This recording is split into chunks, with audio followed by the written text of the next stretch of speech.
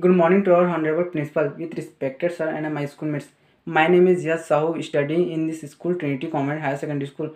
I am the student of class 10. I want to start my presentation. My topic is Incredible India. Incredible nation is dedicated to integrity of all. A nation with 347 regional languages.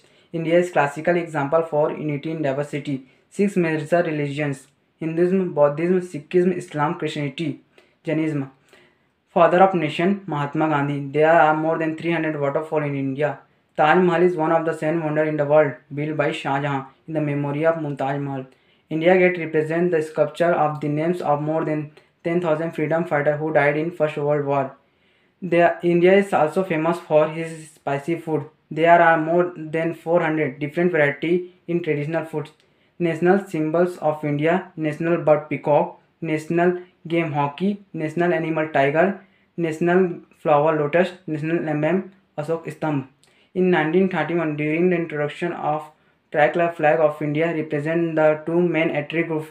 Saffron represent Hindu, green represent Muslim, white represent peace between in these groups. After the independence, the meaning of this flag was updated.